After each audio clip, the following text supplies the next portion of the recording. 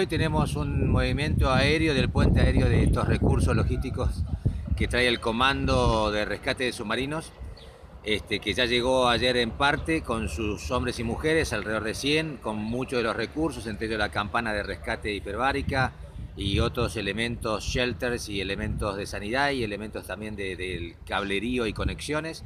Y hoy con cuatro vuelos que se esperan de aviones de gran porte que van a empezar a llegar a partir de las 13.30 y todos seguidos en lapsos, este, espacios de hora, hora y media entre uno y otro, lo que hace que tengamos, tenemos que tener unas previsiones logísticas para darle fluidez a la descarga de estos recursos en el aeropuerto y el traslado al mismo puerto de forma rápida, continua y segura. Estos avisos se van a dar a la comunidad a medida que se armen las columnas de marcha. Y bueno, esperando que alguno de los dos buques, este, entiendo, podrá ser que a partir del mediodía y según los datos que tengan desde la zona de trabajo, la zona marítima digo, de búsqueda, estar en condiciones de, zarpar. Esto lo vamos a confirmar un poquito más adelante durante la mañana, este, entendiendo que quizás a partir del mediodía el, el Scandi Patagonia ya esté en condiciones y configurado para, para zarpar. Eh, puerto de Comodoro Rivadavia va a ser el centro de operaciones eh, de los operativos de búsqueda y rescate del submarino Ara San Juan. Está perdido eh, más o menos a la latitud del sur del Golfo San Jorge, se estima, eh, y a una distancia de cercana a las 200 millas. ¿Cuántas personas han venido hasta el momento para asistir? En, en, este operativo interviene la Armada de Estados Unidos, el día de ayer eh, trajeron por vía aérea eh, carga, equipamiento especial para hacer este tipo de operativo. Eh, se trata de un submarino, una campana de, presurizada que es para emergencia en profundidad y también vehículos que se manejan a control remoto, entre otro equipamiento especializado, traer en contenedores para poder operar. el día de hoy eh, arribaron dos buques, uno es el buque que está acá, Stanley Patagonia, fue el primero en llegar a las 14 horas, es un remolcador supply que tiene, ahí se puede observar, eh, tiene un helipuerto y tiene capacidad de transporte y de maniobras, eh, importante. Este remolcador estaba en Tierra del Fuego y bueno, llegó hoy.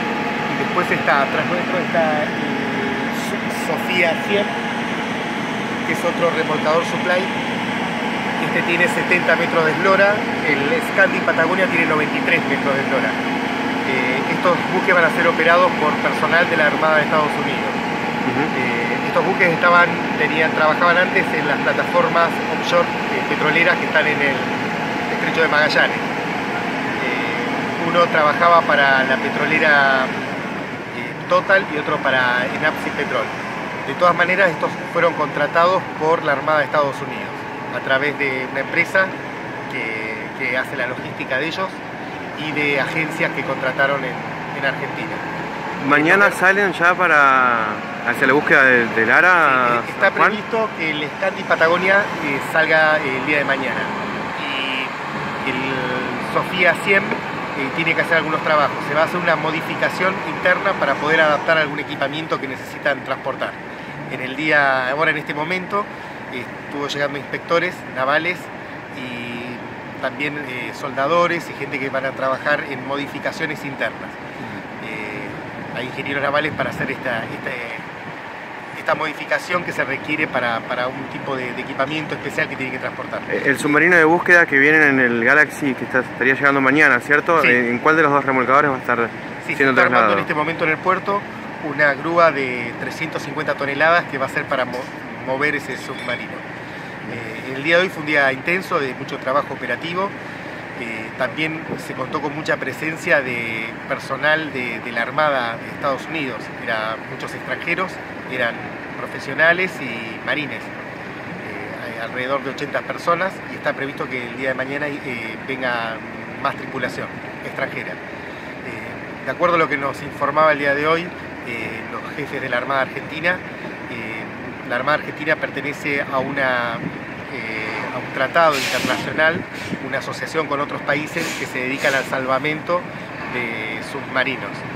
es una asociación de distintos países que se comprometen a hacer trabajos de cooperación.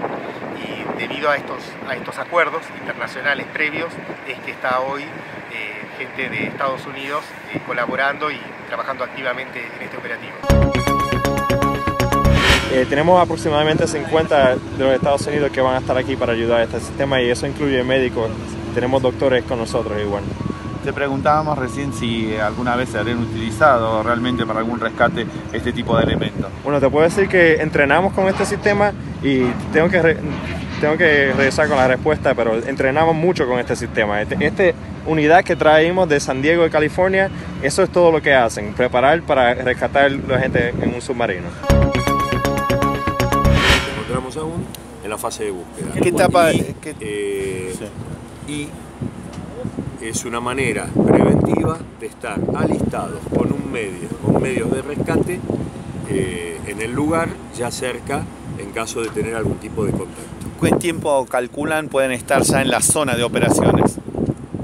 Bueno, lo informado por el capitán del barco, eh, calculamos que un día y medio, dos días, según el estado de mar, ustedes saben que el estado de mar no es muy bueno afuera, eh, entonces a veces no permite ir muy rápido, entonces eh, calculamos eso, un día y medio, dos, está ya en la zona de, la zona de lo, en lo que hace al Sofi 100, se está esperando que arribe, en, en, pocos minutos van a poder pasar uno de los aviones C-17 que trae a bordo el eh, mini submarino, el vehículo de rescate, que es el equipamiento que va a ser montado a bordo del Sofi 100.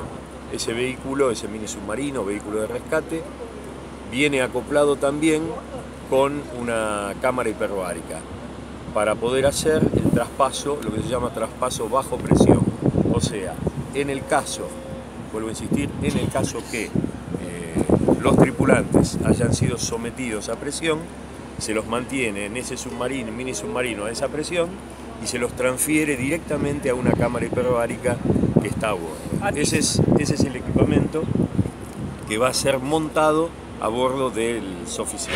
Sí, ahí tenemos una campana que puede rescatar hasta seis personas a la vez y ya está disponible. ¿Está ya operando en el área? ¿Ya ha bajado del barco? Eh, casi sí, estoy casi seguro que sí, pero no, no estoy 100% seguro. ¿Lleva dos médicos arriba, dos enfermeros arriba? Sí, tenemos médicos listos para poder uh, proveer la asistencia. Sí. ¿Están en el barco? Están en el barco, sí. ¿Hay alguna novedad en cuanto a ese proceso o nada todavía? No tengo nada más.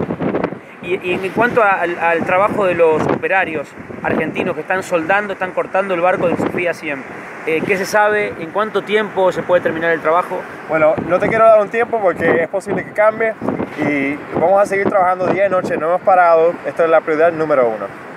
Usted le llama el 24-7, ¿no? 24-7, that's right. O sea, que, que sería 20, 24 horas los 7 días, o sea, precisan eso hoy sí o sí. Eso es verdad. Y es que de verdad queremos salvar vidas. Estamos aquí eh, apoyando a Argentina, apoyando al gobierno, apoyando la Armada y apoyando a la gente de Argentina. Así que esa es la prioridad. No hay ninguna orden de, de, de, de ningún estilo, digo, sigue todo igual. Sigue todo igual, eso es correcto. En este momento lo que más eh, esfuerzo se está haciendo con la gente de, del puerto de Estados Unidos y los contratistas que vinieron de la agencia internacional es la reconfiguración de la cubierta del, del Soficien, porque es necesario hacerlo para la instalación del mini submarino y los otros equipamientos que tienen que ir sobre seguro y en capacidad de ser este, bajados en, alta mar. Así que ese es el trabajo de operación logística que más tiempo lleva y a la espera de la llegada de los aviones de España, de Inglaterra, que están al llegar. Ahora nos vamos para el aeropuerto a, a recibirlos y hacer la carga, descarga y carga en el mismo para traer también ese equipamiento. ¿Es un a, a submarino el que viene a la tarde? A la tarde vendría un complemento del submarino, este, a la tarde viene un avión de la Fuerza Aérea Americana, otro Galaxy, como ya, ya estamos acostumbrados a a recibir ese, esos aviones eh, desde estos días, digo. Este, así que sí, sería el último llegar para completar el equipamiento de, de, de este equipo que viene del Comando de Rescate de Submarinos.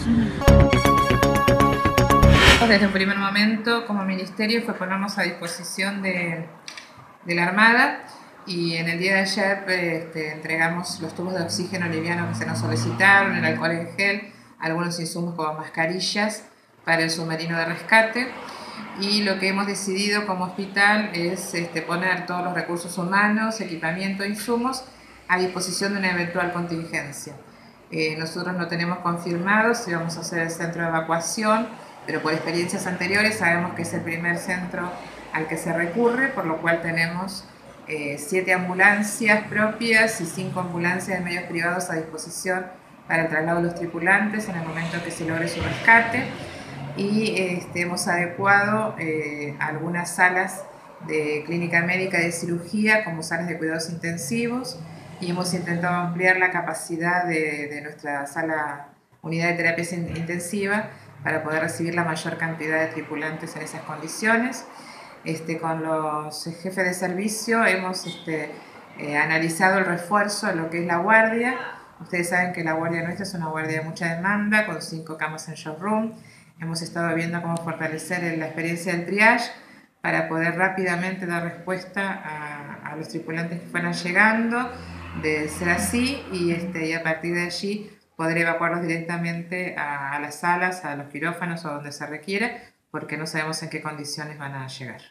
Eh, se han suspendido las cirugías programadas.